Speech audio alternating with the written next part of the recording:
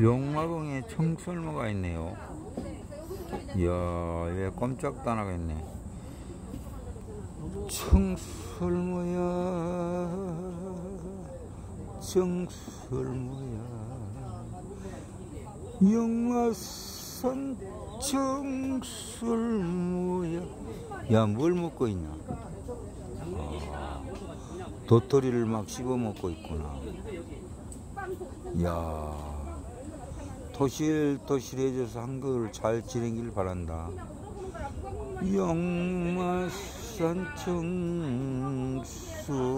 청술모 야, 저 막 입을 입을 딱살거리면서 치고 있는 너무 멋있다. 야. 안녕 영마산 청술모야